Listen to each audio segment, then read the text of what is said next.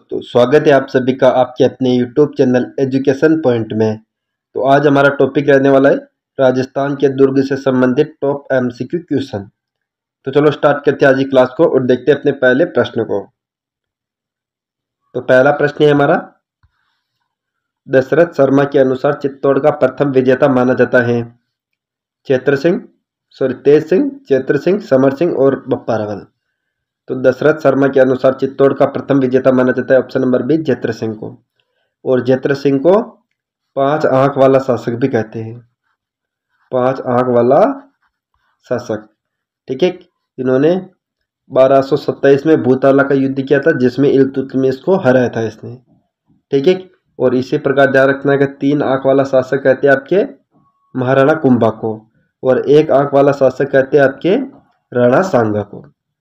ठीक है? आगे बात करते हैं अगले प्रश्न की। दूसरा प्रश्न लाखेटा बारी किस दुर्ग में स्थित है? तो लाखेटा बारी सराड़ा दुर्ग, जयगढ़ दुर्ग, सोनारगढ़ दुर्ग और चित्तौड़गढ़ दुर्ग।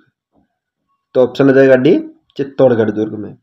ठीक है? और चित्तौड़गढ़ दुर्ग के बारे में ध्यान रखना है, बहुत ही महत्वपूर्ण दुर्ग है कई बार इससे परीक्षा में प्रश्न पूछा जाता है। तो राजस्थान का एकमात्र ऐसा दुर्ग जहाँ पर खेती की जाती है। क्षेत्रफल की दृष्टि से राजस्थान का सबसे बड़ा दुर्ग है ये। ये मेसा के पठार पर स्थित है। इसकी आकृति वहल मछली के समान है। यहाँ पर एक प्रसिद्ध विजय स्तंभ है, जिसका निर्माण चौदह चालीस से लगाकर चौदह के मध्य महाराणा कुंभा ने करवाया था। ठीक है? और विजय स्तंभ नौ मंजिला जिसे भारतीय मूर्ति कला का विश्वकोश कहा जाता है। इस प्रकार ध्यान रखना है चित्तौड़गढ़ दुर्ग के बारे में आगे बात करते हैं। अगले प्रश्न की तीसरा प्रश्न। समिद्धेश्वर मंदिर या त्रिभुवन नारायण मंदिर किस शैली में निर्मित है? नागर शैली, द्रविड़ शैली, पंचायतन शैली और कोई नहीं। तो समिद्धेश्वर मंदिर या त्रिभुवन नारायण मंदिर, ये आपके चित्तौड़गढ़ दुर्ग में है। ठीक है, और चित्तौड़गढ़ दुर्ग में किस शैली में निर्मित है? ऑप्शन नंबर सी, पंचायतन शैली।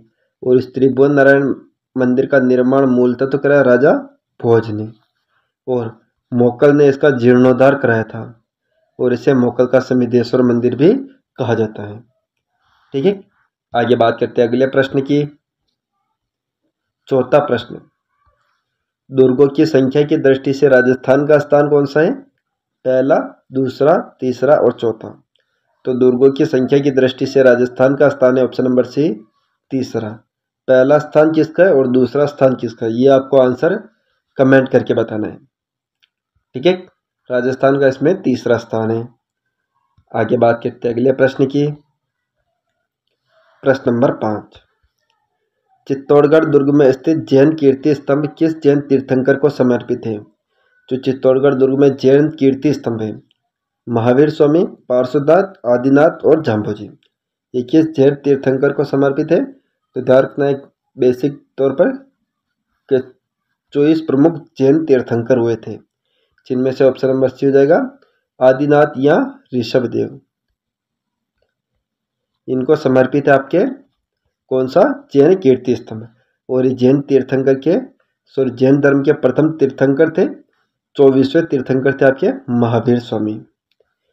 ठीक है किसके बारे में ध्यान रखना है आपको। और पार्श्वनाथ थे, तेईसवें नंबर के जैन तीर्थंकर।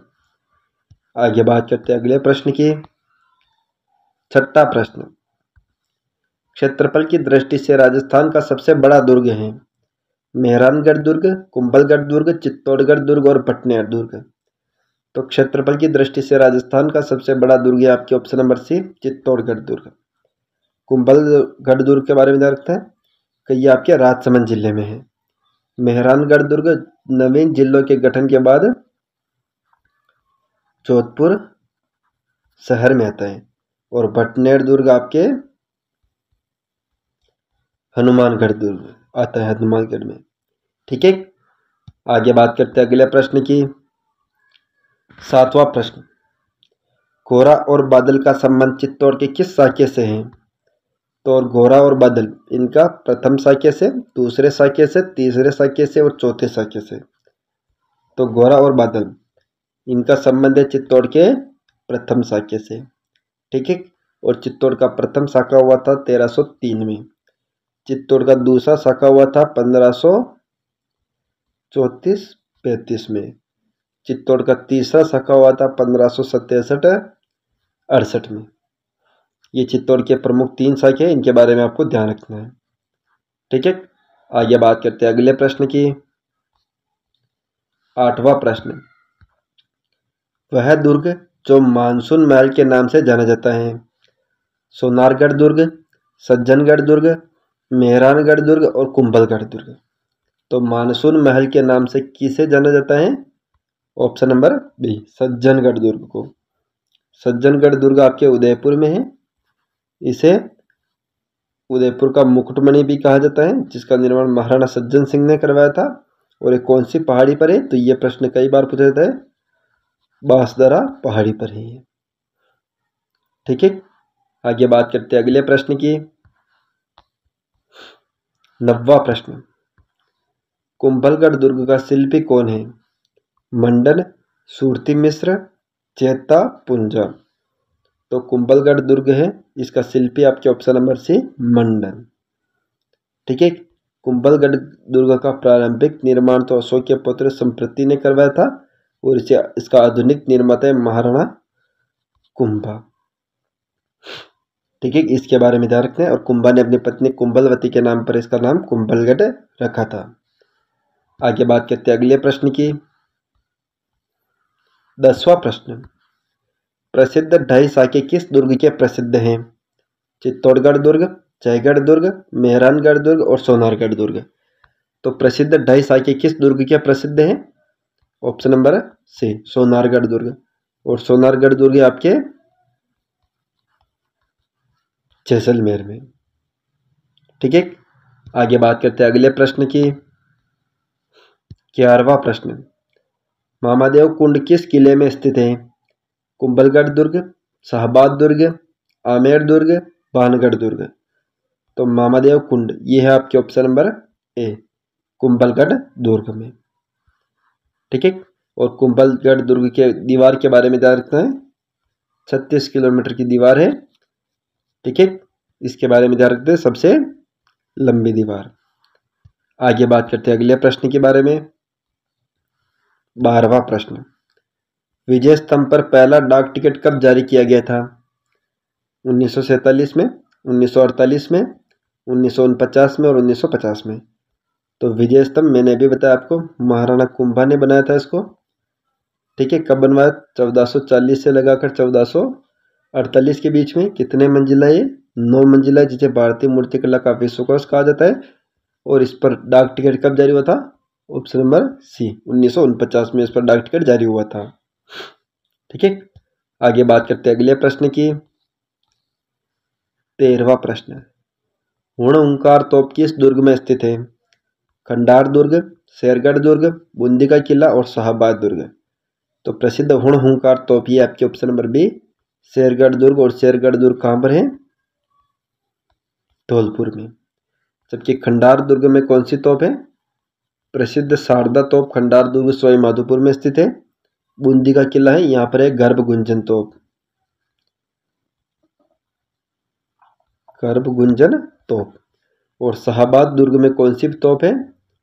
नवल बाण तोप। इन तोपों के बारे में ध्यान रखते हैं। इनसे प्रश्न कई बार परीक्षा में पूछा जाता है। आगे बात करते हैं अगले प्रश्न की। चौदवा प्रश्न। राजस्थान का एक मत एक ऐसा दुर्ग जिसमें हिंदू महिलाओं के साथ साथ मुस्लिम महिलाओं ने भी जोहर किया था।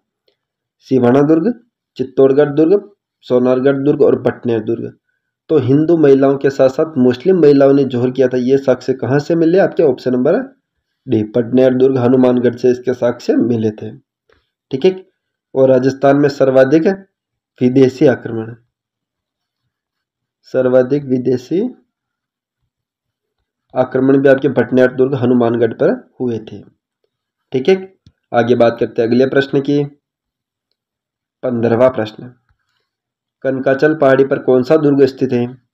दौसा का किला जालोर का किला, आमेर का किला और चित्तौड़गढ़ का किला। तो कनकाचल पहाड़ी पर आपके ऑप्शन नंबर बी जालोर का किला। जबकि दौसा का किला है देवगिरी पहाड़ी पर। देवगिरी पहाड़ी पर। आमेर का दुर्ग कालीखो पहाड़ी पर। इसी प्रकार चित्तौड़गढ़ का किला है मेसा के पठार पर। ठीक है, आगे बात करते हैं अगले प्रश्न की। सोलवा प्रश्न। संकट काल में मेवाड़ के राज परिवार का आश्रय स्थल था कोगुंदा दुर्ग, कुंभलगढ़ दुर्ग, चित्तौड़गढ़ दुर्ग और सराड़ा दुर्ग। तो ध्यान रखता है इनमें से सराड़ा दुर्ग वर्तमान में सलूम्बर ज़िले में आता है, पहले चित्तौड़गढ़ ज़िले में आता था ठीक है ऑप्शन नंबर बी हो जाएगा कुंभलगढ़ दुर्ग। कुंभलगढ़ दुर्ग को मेवाड़ की आँख भी कहा जाता था। ठीक है, आगे बात करते हैं अगले प्रश्न की। सत्तरवा प्रश्न। किस किले के अंदर की बस्ती जूना बिलवाड़ा गाँव के नाम से जानी जाती है? तो जूना बिलवाड़ा गाँव, कुंभलगढ़ दुर्ग, सिवाना दुर्ग पटनेर दुर्ग और रणथम्पोर दुर्ग। तो जूना बिलवाड़ा गाँव कहा जाता है तो आपके ऑप्शन नंबर है कुंभलगढ़, दुर्ग के भीतर की बस्ती को। ठीक है, आगे बात करते हैं अगले प्रश्न की। अठारवा प्रश्न। राजस्थान का एकमात्र दुर्ग जो बिना नींव के समतल कठोर चट्टान पर बना है, सिवाना दुर्ग, मेहरानगढ़ दुर्ग, गागरोन दुर्ग और चित्तौड़गढ़ दुर्ग। तो बिना किसी नींव के समतल कठोर चट्टान पर बना दुर्ग आपके ऑप्शन नंबर सी गागरोन दुर्ग। गागरोन दुर्ग आपके झालावाड़ में। यह अहू तथा काली सिंधु नदियों के संगम पर स्थित है कि जल दुर्ग है? ठीक है कौन कौन सी नदियों के संगम पर? आहू तथा काली सिंधु नदियों के संगम पर। नेक्स्ट क्वेश्चन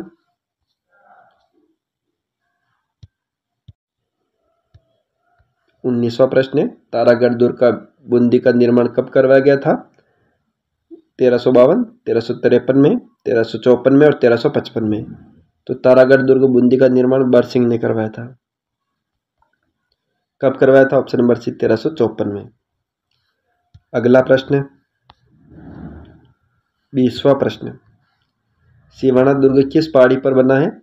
तो सिवाना दुर्ग आपके ऑप्शन नंबर डी, हल्देश्वर पहाड़ी पर, जबकि चिड़िया टुक पहाड़ी पर आपके मेहरानगढ़ दुर्ग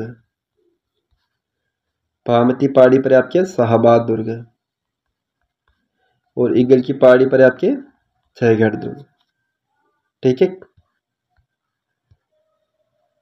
तो दोस्तों, आज की क्लास को हम यहीं पर समाप्त करते हैं। नेक्स्ट मिलते हैं इसी प्रकार की बेहतरीन क्लास के साथ। इससे पहले अगर आप वीडियो को पसंद आया हो तो वीडियो को लाइक करें चैनल को सब्सक्राइब करें और वीडियो को शेयर ज़रूर करें। थैंक यू जय हिंद जय भारत